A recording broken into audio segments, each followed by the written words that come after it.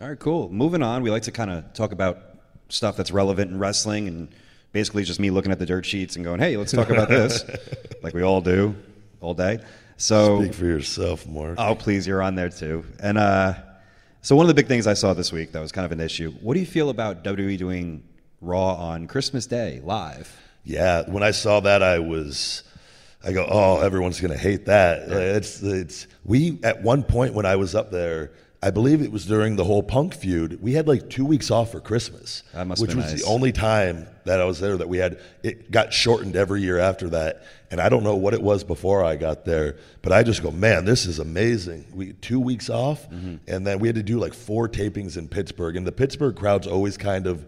I don't want to say dead, Yeah. but they're not as lively sometimes. Four other- tapings? And we had to do four tapings, like two and two on Monday, two on Tuesday, Oh, that's gotta be rough. back in the same place, back to back days, and it was uh, pretty dreadful towards the end. But it was we all just had in our heads we have two weeks off. and by dreadful, you mean just the crowd energy, like how much? Yeah, and again, there's only so much wrestling. That, you that can only third- see a super kick so many brawl, we're all times. Yeah, yeah, yeah. so many super kicks and so many uh, Superman.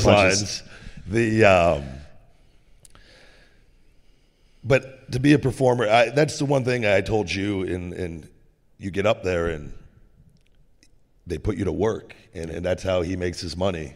And uh, it is it's a very demanding schedule. And Why and- is that a thing? How can someone not go, man, this is the most important, dare I say, important day of the year? Yeah. Everybody wants to be with their families. They're already That- away from their families, It- and, and, and we've seen with different stories on different guys and people getting divorced. It is the hardest lifestyle. It's not like any other sport or any other thing because you're not.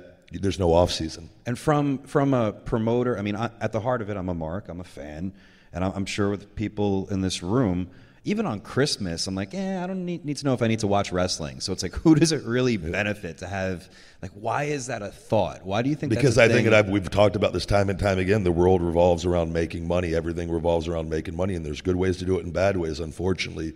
And people in high positions and with a lot of power, they're looking at, oh, how can we make money? How can we make money? And they're a publicly traded company, and they're and they're down on certain things, and they're looking, well, how can we make numbers up on this? Well, we could run on this day. Oh, hey, look at us, we're on Christmas. Everyone's going to be home looking for something to do at night, and so they just look at it from and whether it was USA's idea or Vince's idea, who knows whose mm-hmm. idea it was, but they're looking at it as a way to make money. And the problem with that is, is you're dealing with human lives and families who are already gone every day. Yeah. It's like there's only there's only a few holidays every year. Like let the guys have those moments with their their, their families, and, and rather than flying out the night before. And Do you think it's a? There's also an old timer thing too, because a lot of the biggest drawing days on territories were Thanksgiving. I don't know about Christmas, but Thanksgiving was one of the biggest Yeah. days of drawing. Do you think there's a little bit of that mindset at all? Like, you know, hey, could- well, we did it. Well, they should be here working. I don't know. Yeah, I don't know either. I just think though, as time goes on, you evolve and move on, and you learn from the mistakes of the past. And um, just because they did things one way in one period doesn't mean you just do it.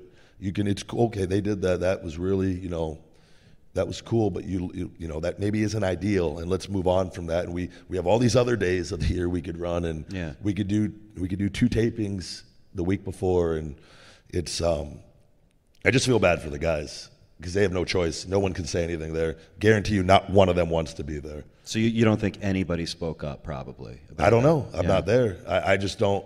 I, and I, I would be curious to see how that was introduced to them. If it was Mark Carrano in a room like this, they do their little meetings and, and how they've done some things. It's.